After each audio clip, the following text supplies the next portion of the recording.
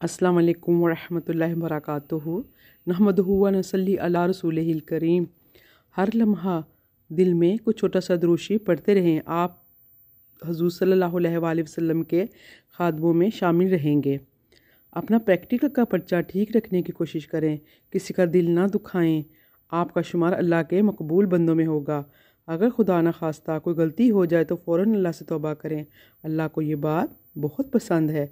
इस चंद रोज़ा ज़िंदगी के ऐशो आराम की खातर हम अपनी आकबत तो ख़राब ना करें। शैतान तो हमें वर्गलाएगा ही। मजबू, मजबूरी है गलत काम करते जाओ। अल्लाह माफ़ कर देगा, ये उसका बहुत बड़ा धोखा है। ज़रा इस बात इस बात के बारे में सोचिए। ज़रा सोचिए कि हम हज़ारों मनो मट्टी के दबे हुए हैं, कब्र का गुप्पा अंधेरा है, वहशत है और अजाब अलीम। ना हमारा हमारा माल वहाँ काम आएगा और ना औलाद। तोबा का वक़्त अब, तोबा का वक़्त भी गुजर चुका है। उस वक़्त हमारी चीखें, हमारी पुकार, हमारी तड़प, हमारी फरियाद कौन सुनेगा? अस्तगफिरुल्लाह। अभी भी वक़्त है। आइए समझ जाइए। तोबा का दरवाज़ा अभी भी खुला है।